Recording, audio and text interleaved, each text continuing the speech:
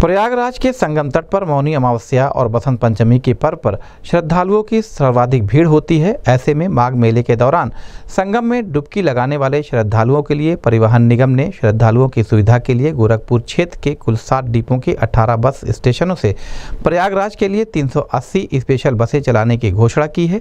Special बसें 21 जनवरी से छः फरवरी तक कुल 17 दिन तक चलाई जाएँगी। जिनकी पहचान के लिए बसों पर मेला का स्टिकर लगाया जाएगा, जिसके संबंध संबंध में परिवहन निगम के सहायक क्षेत्रीय प्रबंधक महेश चंद ने बताया कि शासन की नीति पर परिवहन निगम प्रयागराज के लिए स्पेशल बसें चलाने में जुटा हुआ है। प्रयागराज में माघ मेला को लेकर 380 बसें लगाई गई हैं, जिनमें गोरखपुर में आठ डिपो है और पूरे गोरखपुर रीजन में 18 मेला बिंदु है, जिसमें खजनी, सिकरीगंज, उर्वा, रुद्रपुर, देवरिया, गोला, ठूठीबारी, महाराजगंज, हर जगह से बसें देने का अलाटमेंट है और हर जगह से निर्धारित बसें दी जा रही हैं। उन्होंने सभी श्रद्धालुओं से कहा कि माघ मेले का आनंद उठाएँ परिवहन निगम 24 घंटे सेवा में आपके लिए तत्पर है। इस संबंध में गोरखपुर न्यूज़ से बात करते हुए परिवहन निगम के सहायक क्षेत्रीय प्रबंधक महेश चंद ने कहा।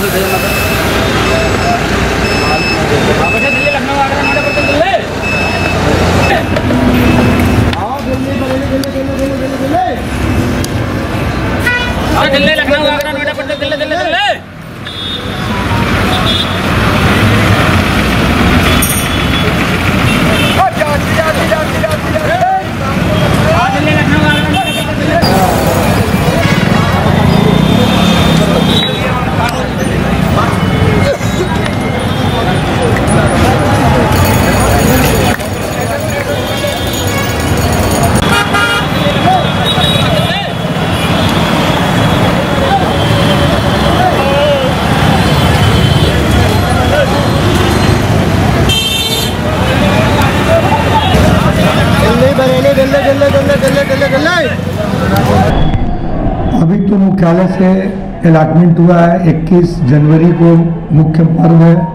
गोरखपुर क्षेत्र से 380 बसें लगाई गई हैं। जो गोरखपुर में आठ डिपोज हैं, इनको 380 बसें देनी है।